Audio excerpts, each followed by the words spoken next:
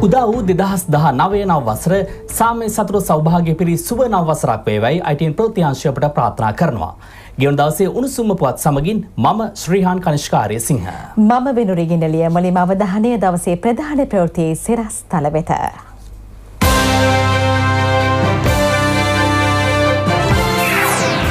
දුගී බව තුරන් කිරීමට සැලසුම් සකස් කරන්නයි ජනපතිගින් නිලධාරීන්ට උපදෙස්. මනුෂ්‍යත්වය දුම්රියෙන් උතුරේ ජනතාවට සහන. හෙරෝයින් ජාවාරමේ බංගලාදේශ ජාතිකින් දෙදෙනා රැඳවුම් පාරයට. ජනතාවගේ දුගී බව තුරන් කිරීම ප්‍රමුඛ අරමුණ කරගනිමින් නවවසරේ සංවර්ධන සැලසුම් සකස් කරන ලෙස ජනාධිපති මෛත්‍රපාල සිරිසේන මැතිතුමා නිලධහරින්ට උපදෙස් ලබා දුන්නා. පොළොන්නරුව දිස්ත්‍රික් ලේකම් කාර්යාලයේ පැවති පිබිදෙමු පොළොන්නරුව දිස්ත්‍රික් සංවර්ධන වැඩසටහනේ ප්‍රගති සමාලෝචන රැස්වීමට එක්වෙමින් ජනාධිපතිතුමා මේ අදහස් පළ කළා.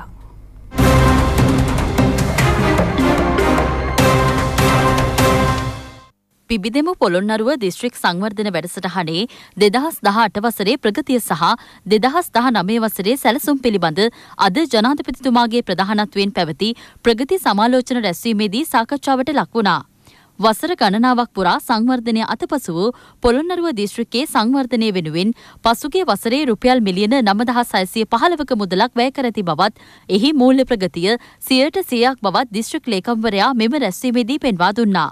දිලිඳුකම තුරන් කිරීම සහ මද්‍රව්‍ය නිවාරණය වෙනුවෙන් දිස්ත්‍රික්කය තුළ ක්‍රියාත්මක වැඩසටහන්වල ප්‍රගතිය මෙහිදී විමසා බැලුණා. රාජ්‍ය ආයතනවල පවතින මානව සම්පත් හිඟයට විසඳුම් ලබාදීමද එහිදී අවධානයට ලක් වූ කරුණක්. නව බස් නැවතුම්පොලේ ඉදිකිරීම්, කසල කළමනාකරන වැඩසටහන් ඇතුළු පොළොන්නරුව නගර සංවර්ධන කටයුතු පිළිබඳවද මෙහිදී සාකච්ඡාවට ලක් වුණා. පවතින කාලගුණික තත්ත්වය සමග කෘෂිකාර්මික කටයුතුවල නව පිබිදීමක් ඇතිවී තිබෙන අතර දිස්ත්‍රික්කයේ කෘෂිකාර්මික සංවර්ධනය වෙනුවෙන් පිබිදෙම පොළොන්නරුව වැඩසටහන යටතේ විශේෂ වැඩසටහන් ක්‍රියාවට නැන්වීමටද ජනාධිපතිතුමා මෙහිදී උපදෙස් ලබා දුන්නා. මේ දිස්ත්‍රික්කයේ විදිහට තවත් කරන සමාජමය කාර්යයන් වලදී මත්ද්‍රව්‍ය මර්ධනය පිළිබඳව මම පොලිසියටත් ස්තුතිවන්ත වෙනවා. දැන් ඊයේ අති විශාල මත්කුඩු ප්‍රමාණයක් මේ වැටලීම් කරන නිලධාරීන් සොයාගත්තා. එය රටේ මද්‍රව්‍ය මර්ධනයට විශාල ශක්තියක් ඒ නිලධාරීන්ටත් අපි ස්තුතිවන්ත වෙන්න ඕනේ. පොළොන්නරු දිස්ත්‍රික්කයේ තුල මද්‍රව්‍ය මර්ධනය සහ නිවාරණය සඳහා ප්‍රමුඛතාවය දීම ඉතාමත් අත්‍යවශ්‍යයි.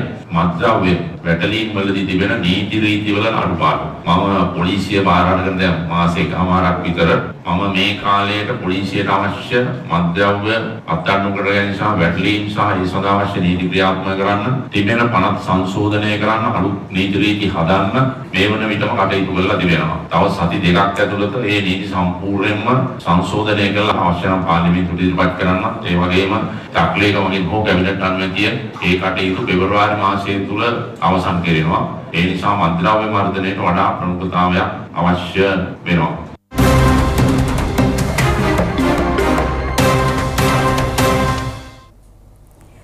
හුණුපිටිය ගංගාරාම විහාරස්ථානයේ පැවති ආශිර්වාද පූජාවට ජනාධිපති මෛත්‍රීපාල සිරිසේන මැතිතුමා එක් වුණා. ගංගාරාම විහාරස්ථානය වෙද පැමිණි ජනාධිපති මෛත්‍රපාල සිරිසෙන මැතිතුමා පළමුව ආගමික වතාවත්වල නිරතවීමෙන් පසු ආශිර්වාද පූජාවට සහභාගී වුණා. කොළඹ නවකෝරුලේ ප්‍රධාන සංගනායක සහ කොළඹ හුණුපිටිය ගංගාරාමාධිපති පූච්ච කලපොඩ ඥානිස්සර ස්වාමින් වහන්සේට සෙත් පතමින් ආශිර්වාද පූජාව පැවැත්වුණා. සෑම දෙසැම්බර් තිස් එක්වනදාම මධ්‍යම රාත්‍රයේ සිට ජනවාරී පළමුවනදා දක්වා ගංගාරාම විහාරස්ථානයේ ආගමික වැඩසටහන් පැවැත්වෙනවා. ඊට සමගාමීව ආශිර්වාද පූජාව සංවිධාන කර තිබුණේ රෝගාතුරුව සිටින පූජ්‍ය කලබොඩ ඥානිස්සර ස්වාමින් වහන්සේට ඉක්මන් සුවය ප්‍රාර්ථනා කරමින්. ගංගාරාම විහාරාධිකාරී ආචාර්ය පූජ්‍ය කිරින්දේ අසජී ස්වාමින් වහන්සේ ප්‍රමුඛ මහා සංඝරත්නය ආගමික වතාවත් සිදු කළා. විපක්ෂ නායක මහින්ද රාජපක්ෂ අමාත්‍ය සජිත් ප්‍රේමදාසයන මහතුරුන් ඇතුළු විශාල පිරිසක් පින්කමට එක්ව සිටියා. මෙරට විසි තුන්වන නාවික හමුදාපතිවරයා ලෙස වයිස් අද්මිරාල් පියල්ද සිල්වා මහතා රාජකාරී ආරම්භ කළා. රිය අද්මිරාල් පියල්ද සිල්වා මහතා වයිස් අද්මිරාල් දුරේට උසස් කිරීමෙන් අනතුරුවයි නාවික හමුදාපතිවරයා ලෙස පත්කෙරුණේ. ඊට පෙර ඔහු නාවික හමුදා මාණ්ඩලික ප්‍රධානී ලෙස කටයුතු කළා. හිටපු නාවික හමුදාපති අද්මිරාල් සිරිමෙවන් රණසිංහ මහතා නව නාවික හමුදාපතිවරයා වෙත සම්ප්‍රදායනුකූලව නාවික හමුදාපතිවරයාගේ අසිපත පිරිනැමීම හා රාජකාරී භාරදීම නාවික හමුදා මුලස්ථානයේදී සිදුවුණා. නව නාවික හමුදාපතිවරයා වෙනුවෙන් නාවික හමුදා විශේෂ සම්මාන ආචාරමුරයක්ද මෙහිදී පිරිනැමුණා. ආගමික වතාවත්වලට මුල්තැන දෙමින් නාවික හමුදාපති වයිස් අද්මිරාල් පියල්ත සිල්වා මහතා රාජකාරී ආරම්භ කළ අවස්ථාවට ජේෂ්ඨ නාවික හමුදා නිලධහරින් රැසක් එක්ව සිටියා.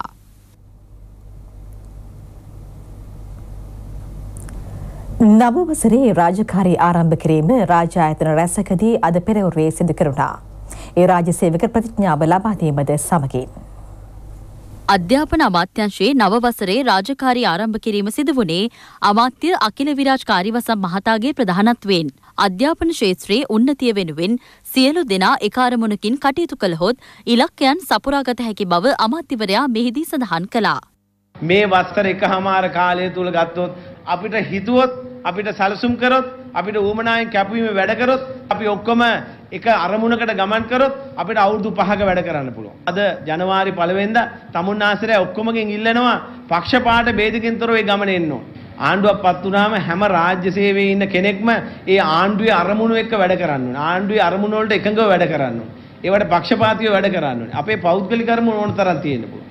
නමුත් ඒ ආණ්ඩුවේ අරමුණු වලට වැඩ කරේ නැත්නම් ඒවා සාර්ථක කරගන්න කටයුතු කරේ නැත්නම් මම නම් දකින්නේ ආණ්ඩු විරෝධී නෙමෙයි රාජ්‍ය විරෝධී.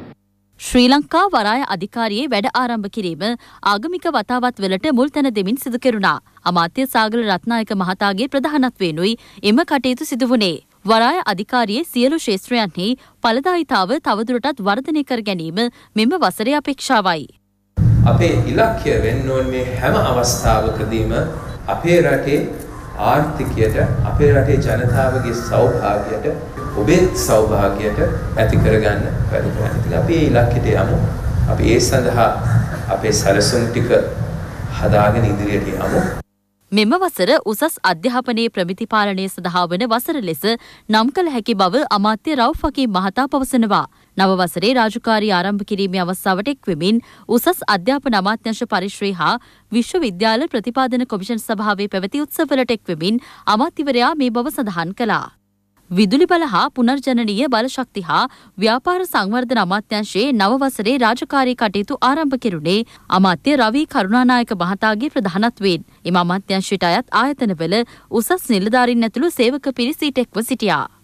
අපට අවශ්‍යන කාර්යක්ෂමතාව ඇති කරලා ඒ ඒ අහිංසක පාරිභෝගිකයගේ අපි ලක්ෂ 70ක පාරිභෝගී ඉන්නවා ලංකා විදුලි බල මණ්ඩලයේ. ඒ අයටත් ඉදිරියෙන් එකතු වෙන පාරිභෝගිකයටත් එවැනි පීඩනයක් නොවන විදියකට කටයුතු කිරීම මම ඒ රාජ්‍ය ඇමතිත් ඒකම්තුමාත් අපේ එන්ජිනියරු සහ සියලු දෙනාගේම මේ අවස්ථාවේ තියුණු සටන තමයි ඒක කොහොමද කරන්නේ.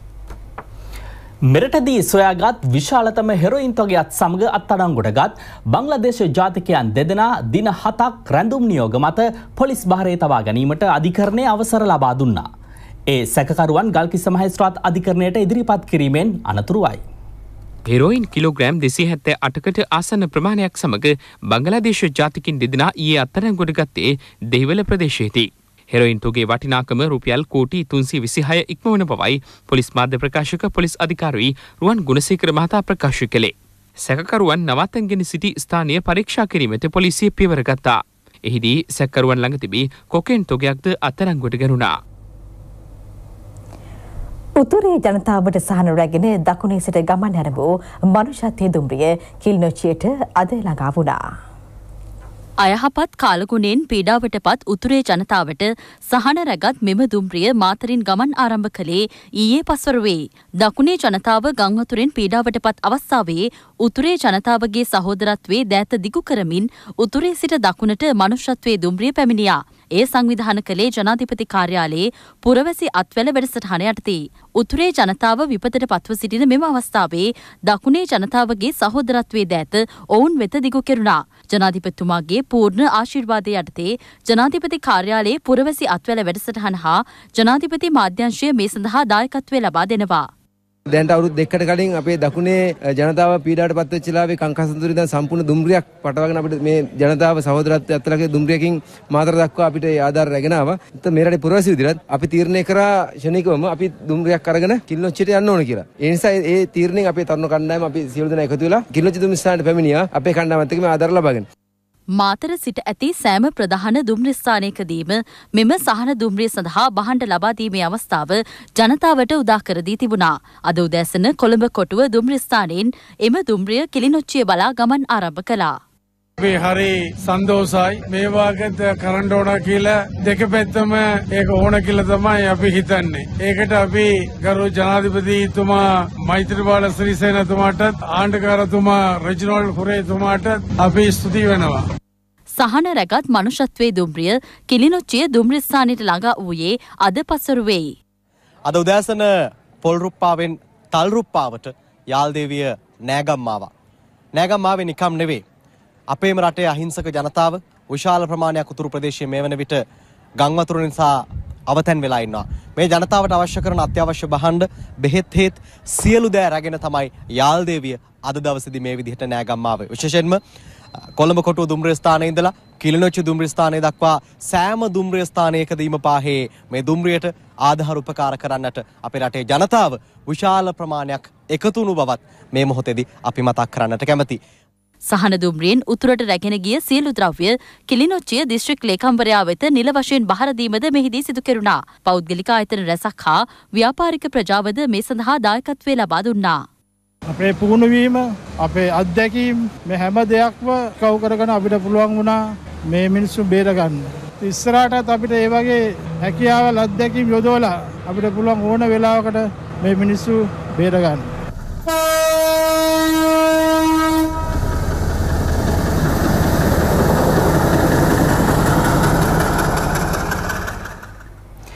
ෆිෆ්ටිකේ ඕකීඩ් අවන්හල විවෘත කිරීම අග්‍රාමාත්‍ය රනිල් වික්‍රමසිංහ මහතාගේ ප්‍රධානත්වයෙන් සිදු කළා. වෝටස් ඒජ් හෝටල් පරිශ්‍රය තුළයි නව සුපුරි අවන්හල පිහිටා තිබෙන්නේ. මහනගර හා බස්නාහිර සංවර්ධන අමාත්‍යංශය යටතේ ක්‍රියාත්මක වෝඩසේජ් හෝටලේ වෙත ඇති සංචාරක ආකර්ශණය ඉහළ නැංවීමේ අරමුණින් මෙම අවන්හල පිහිටවා තිබෙනවා. අග්‍රාමාත්‍යවරයාගේ ප්‍රධානත්වයෙන් මෙය විවෘත කෙරුණු අතර මංගල සමරවීර රාජිත සේනරත්න පටලි චම්පික රණෝක යන මත්රුණ තුළු පිරිසක් එම අවස්ථාවට එක් වුණා. මෙහිදී අදහස් දැක් වූ අග්‍රාමාත්‍ය රනිල් වික්‍රමසිංහ මහතා. එකක් තමයි මෙතන පෙනෙන්නේ ලංකාවේ ඕකිඩ් වගාවට තියෙන අනාගතය. අපිට ඒක දියුණු කරලා ගන්න. අනික් අතින් සංචාරක ව්‍යාපාරයට අලුත් සංකල්පයක් ඉදිරිපත් කරලා තියෙනවා. මෙහෙම සංකල්ප මෙහෙම අදහස් නැතුව අපිට ඉදිරියට යන එක දුෂ්කරයි. අපි ඊට සංචාරක ව්‍යාපාරේ දැන් දියුණුවක් ඇති කරන්නට පියවර අරගෙන යනවා. ඒත් මෙවැනි ව්‍යාපාර ආරම්භ කළා මේ අවස්ථාව ලැබෙනවා. තවත් අපේ රටේ ආර්ථිකය ශක්තිමත් කරන්න. මහබැංකු බැඳුම් කර වංචාව සම්බන්ධයෙන් රක්ෂිත බන්ධනාගාරගතව සිටි පර්පචල් ට්‍රෙෂරි සමාගමේ හිමිකරු අර්ජුන් ඇලෝෂියස් සහ ඒ ප්‍රධා විධායක නිලධාරී කසුන් පලිසේන යන අය අප මත මුදා හැරුණා.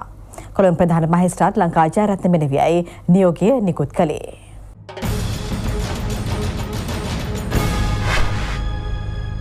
මහබැංකු බැදුම්කර සිද්ධිය සම්බන්ධයෙන් වසරකට ආසන්න කාලයක් මොවුන් රක්ෂිත බන්ධනාකාරගතව සිටියා. අර්ජුන් නැලෝෂිය සහ කසුන් පලිසේන යන අය මුදා හැරුණේ එක් අයකුට රුපියල් මිලියනය බැකින් මුදල් ඇප සහ රුපියල් මිලියන විස්ස බැකින් වූ ශරීර ඇප හතරක් මතයි. ඇපකරුවන් ළඟම ඥාතීන් විය යුතු බවටද මහිස්ත්‍රාත්වරිය අවධාරණය කළා. සැකකරුවන්ගේ විදෙස් ගමන් තහනම් කළ මහිස්ත්‍රාත්වරිය සෑම වසකම අවසන් ඉරුදින අපරාධ පරීක්ෂණ දෙපාර්තමේන්තුවේ පෙනී සිටිය යුතු බවටද නියෝග කළා. මෙම සිද්ධියට අදාළ ප්‍රධාන සැකකරු තවමත් අත්අඩංගුවට නොගැනීම නඩු කටයුතුවලට බාධාවක් වන බැවින් සහ සැකකරුවන් දෙදෙනාගේ දරුවන්ගේ අසනීප තත්ත්වයන් සලකා බලමිනුයි ඔවුන්ට ඇප නියම කෙරුණේ. වැලිකට බන්ධනාකාරයේ රැදවුවන් විසිහත් දෙනෙකු වෙඩිතපා ඝාතනය කළ බව කියන සිද්ධිය සම්බන්ධයෙන් රක්ෂිත බන්ධනාගාරගත කර සිටින හිටපු බන්ධනාගාර අධිකාරී එමිල් රංජන් ළමාහේවා මහතා ලබන අටවනදා දක්වා තවදුරටත් රක්ෂිත බන්ධනාගාරගත කිරීමට කොළඹ ප්‍රධාන මහිස්ත්‍රාත් අධිකරණය නියෝග කළා. කොළඹ අතිරේක මහිස්ත්‍රාත් ප්‍රියන්ත ලියනගේ මහතායි නියෝගය ලබා දුන්නේ. සැකකරු ඇපමත මුදාහරණ ලෙසට ඉල්ලා ඔහු විසින් අභ්‍යාජනාධිකරණයේ ප්‍රතිශෝධන පෙත්සමක්ද ගොනු කර තිබෙනවා. මේ පිළිබඳ විමර්ශන මෙතෙක් අවසන්ව නොමැති බව අපරාධ පරීක්ෂණ දෙපාර්තමේන්තුව අධිකරණයට දැනුම් දුන්නා. සිද්ධිය සම්බන්ධයෙන් රක්ෂිත බන්ධනාගාරගතව සිටි පොලිස් මද්‍රව්‍ය කාර්යංශයේ පොලිස් පරීක්ෂක නියෝමල් රංගජීව මහතා මෙවන විට ඇපමත නිදහස්ව සිටිනවා.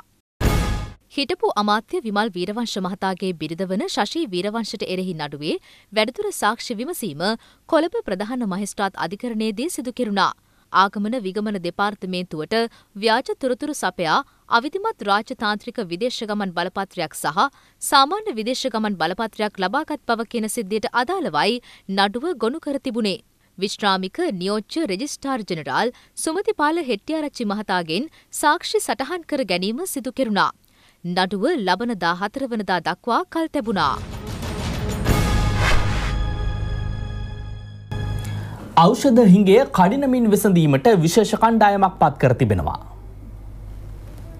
මෙවන විට ඖෂධ අසුවක පමණ හිගයක් පවතින බවයි සෞඛ්‍ය අමාත්‍යංශය පවසන්නේ. මෙම ඖෂධ වර්ග කඩිනමින් මෙරටට ගෙන්වා ගැනීමට කටයුතු කරන ලෙස අමාත්‍ය රාජිත සේනාරත්න මහතා සියලු අංශවලට උපදෙස් ලබා දුන්නා.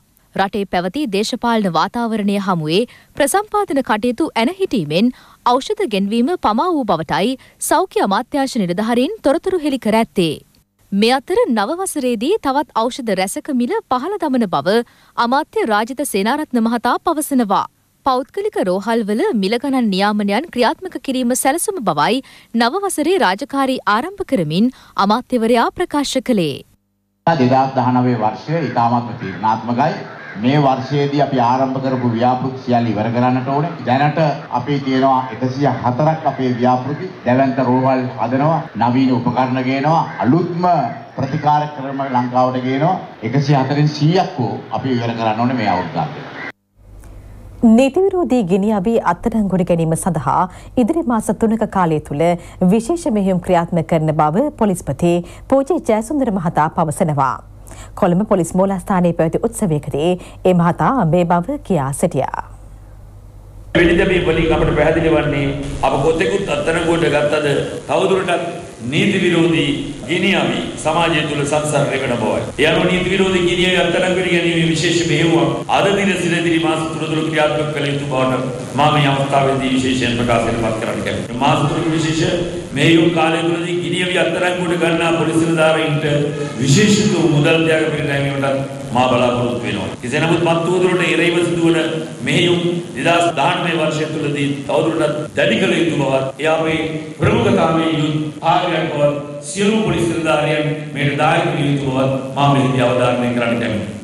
පොලිසිය නවවසරේ රාජකාරී ආරම්භ කිරීමේ උත්සවය පොලිස්පති පූජිත් ජයසුන්දර මහතාගේ ප්‍රධානත්වයෙන් පැවැත්වනා. ප්‍රතිඥාව කියවීම හා ආගමික වතාවත්ද සිදු කෙරුණා. කොළඹ අපරාධ කොට්ටාසය සඳහා නිලරථ දෙකක් පවරාදීමටද පොලිස්පතිවරයා කටයුතු කළා. ඊයේ පෙරවරු හයේ සිට අද පෙරවරු හය දක්වා වූ පැය විසි හතර තුළ බීමත් රියදුරන් හාරසය හැත්තෑදනකු අත්තරංගුඩ ගත් බව පොලිස් මාධ්‍ය ප්‍රකාශක කාර්යාලය පවසනවා. උත්සව සමයේ මාර්ග අනතුරු වලක්වා ගැනීමේ අරමුණින් විශේෂ මෙහිමක් ක්‍රියාත්මක බව පොලිස් මාධ්‍ය ප්‍රකාශක පොලිස් අධිකාරී රුවන් ගුණසේකර මහතා පවසනවා. බීමත් රියදුරන් අත්අඩංගුවට ගැනීමේ මෙහෙයුම් අපි දෛනිකව සිදුවෙනවා.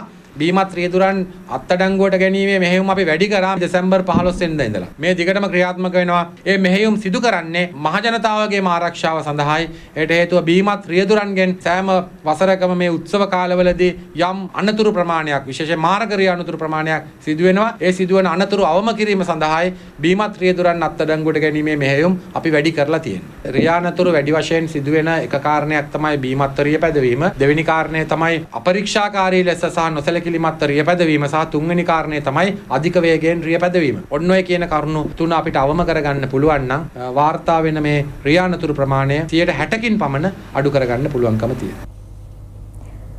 රාජ්‍ය පරිපාලන හා ආපදා කළමනාකරණ අමාත්‍යංශය ඇතුළු ආයතන කිහිපයක නව වසරේ රාජකාරී ආරම්භ කිරීම සුබ මොහොතින් අද සිදු කෙරුණා.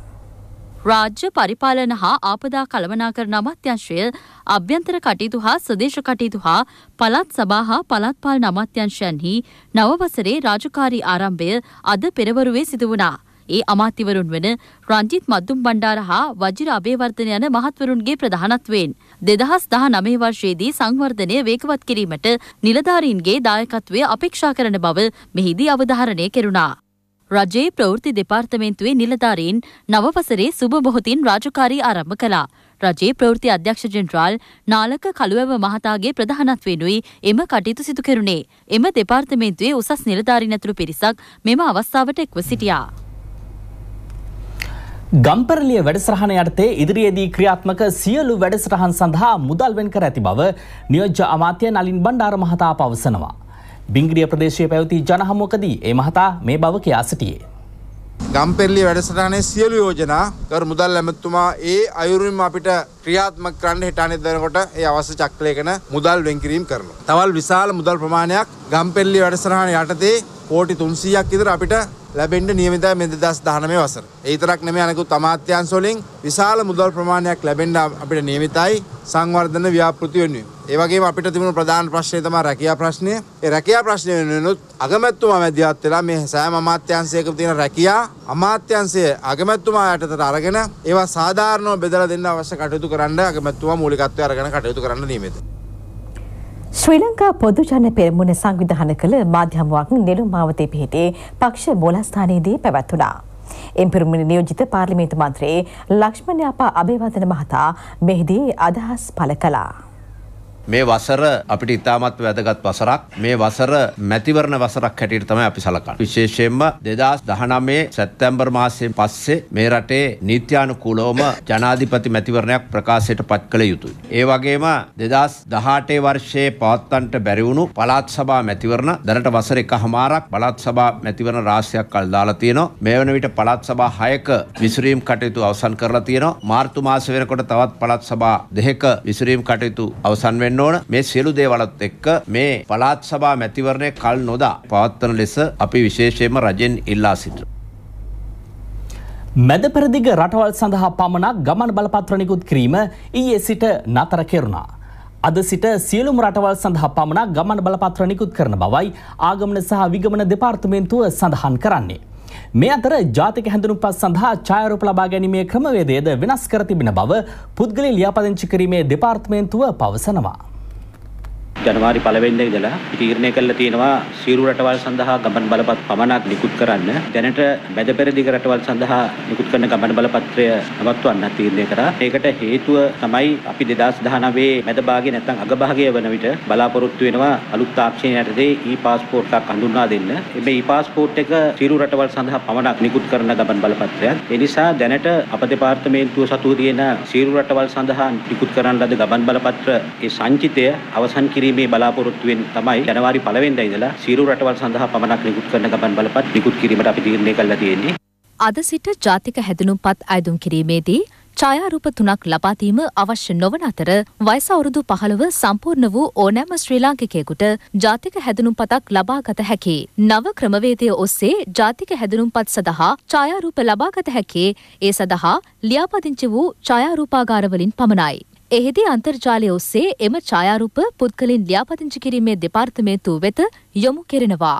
ජනවාරි මාසේ පළවෙනිදා සිට දිවයිනේ සියලුම ස්ථානවල ක්‍රියාත්මක කරන්න දැනටම කටයුතු කරලා තියෙනවා. මේ වැඩසටහන ඇත්තටම ක්‍රියාත්මක කිරීම සඳහා දෙපාර්තමේන්තුව දැනට දිවයිනේ 2100කට අධික ඡායාරූපාගාර මේ වෙනකොට ලියාපදිංචි කරලා තියෙනවා. විශේෂයෙන්ම මේ වැඩසටහන ක්‍රියාත්මක කිරීම තුළ අපිට හැකි වෙලා තියෙනවා ඔබගේ අනන්‍යතාවය වඩාත් හොඳින් තහවුරු කරන්න. වනසතුන්ගෙන් ගොයිවිම්වලට හානි සිදුවීම නිසා කැකිරාවතුර ප්‍රදේශ කිහිපයකම ගොවීන් දැඩි අසිරුතාවට පත්ව තිබෙනවා. වනාලි රංචුවක් කඩාවැදීමෙන් කැකිරාව ප්‍රදේශයේ ගම්මාන කිහිපයක කුඹුරු වගාවට හානි සිදු වුණා. වනාලින් සියකට ආසන්න සංඛ්‍යාවක් මෙසේ පැමිණැති බවයි වාර්තා වන්නේ. සෙම්පුකුලිය ඔලොම්පැව නිකිනියාව ඇතුළු ගම්මාන කිහිපයක කුබුරු විශාල ප්‍රමාණයකට හානි සිදුව තිබෙනවා. එම ගම්මානවල සවිකර ඇති විදුලි වැටද කඩා තමා අලින් ගම්මානවලට පැමිණැති බවයි ප්‍රදේශවාසීන් සඳහන් කළේ. මේ කිරිවදින ගොයම දැන් අලුත් අවුරුද්දක් ලබලා අද උදේ වෙනකොට අපිට දකින්න ලැබුණේ මේ දුකක් තමයි අපිට ලැබුණේ. ඒ නිසා මේකට ගත යුතු සියලු ක්‍රියාමාර්ග අරගෙන අපේ දුක බඩසා දුක නිවා ගන්න කටයුතු කරන්න කියලා මං අපි කොයිතම් කරන්නෙම නැතු විදිහේ. මේ ගොවිතැන් මිදාල් වලින් කරදරේ හින්දා තමයි අපි මේ ඉන්නේ. ණය වෙලා කුඹුරු වැඩ කරලා තින්නේ. ඒ ඉතින් මේ විදුලි වටක් කියලා එකක් තියෙනවා ඒක කිසිම ප්‍රයෝජනයක් නෑ අපිට. ඒක එක්ක හදලා දෙන්න ඕන අපිට කුඹුරු වැඩ කරන්න නම්. නැත්නම් ඉන්න බලධාරි මේ ඇවිල්ලා මේවා පොඩ්ඩක් බලලා යන්න. අපේ දුක බලන්න. මේ අතර රජරට ප්‍රදේශ රැසක ගොවිබිම්වලට මොනරුන්ගෙන් හානි පැමිණෙන බව වාර්තාවනවා. විලච්චිය හොරෝපතාන ගලින් බිදුණු වැව නොච්චියා ගම තන්තිරි මලය යන ප්‍රදේශවල බොහෝ දෙනෙකුගේ ජීවනෝපාය ගොවිතැනයි. වී, කව්පි, සෝයා, මිරිස්, තක්කාලි වැනි වගාවන්ට මොනරුන්ගෙන් දැඩි බලපෑමක් එල්ල වී තිබෙනවා. ඉතා අසීරුවෙන් වගා කරන ගොවිබිම් එක රෑකින් මොනරුන් විනාශ කරන බව ගොවින් පවසනවා. මොනරුන්ගෙන් ගොවිබිම් ආරක්ෂා කර ගැනීමට විධිමත් ක්‍රමවේදයක් සකසා දෙන ලෙස ගොවීන් බලධහරින්ගෙන් ඉල්ලා සිටිනවා. දැන් ක්‍රීඩාපුවත්. අම්පාර දිස්ත්‍රික් කොට්ටාස නියෝජනය කරමින් නුවන් මෙදසිංහ අභියෝගතා කුසලාන අත්පන්දු තරඟාවලිය අම්පාර මූලස්ථාන අත්පන්දු ක්‍රීඩාපිටේදී පැවැත්වුණා. එහිදී කල්මුණේ කොට්ටාස කණ්ඩායම තරඟාවලියේ ජයග්‍රහණය හිමිකර ගත්තා. අම්පාර දිස්ත්‍රික්කයේ කොට්ටාස නියෝජනය කරමින් කණ්ඩෑම් කිහිපයක් තරඟාවලියට එක්ව සිටියා. අවසන් තරගේ පැවැත්වුණේ කල්මුණේ සහකාර පොලිස් අධිකාරී කොට්ටාසය සහ අම්පාර සහකාර පොලිස් අධිකාරී කොට්ටාසය අතරයි. එහිදී වට තුනට දෙකක් වශයෙන් ජයග්‍රහණය කිරීමට කල්මුණේ කොට්ටාස කණ්ඩායම සමත් වුණා. තරඟාවලියේ හොඳම ප්‍රහාරකයා ලෙස කල්මුණේ කොට්ටාස කණ්ඩායමේ තුෂාර සංජීව ක්‍රීඩකයා කුසලාන හිමිකරගත්තා. හොඳම ඔසවන්නා වූයේ චන්දන ජගත් සිරි ක්‍රීඩකයායි. තරඟාවලේ දක්ෂතම ක්‍රීඩකයා වශයෙන් කුසලාන හිමිකරගත්තේ WM ධනපාලයි. මේ සමගින් 19 රාත්‍රී ප්‍රධාන සිංහල පුවත් විකාශය නිමාට පත්තනවා. ඔබට සුවදායි රාත්‍රයක්. www.ipnnews.lk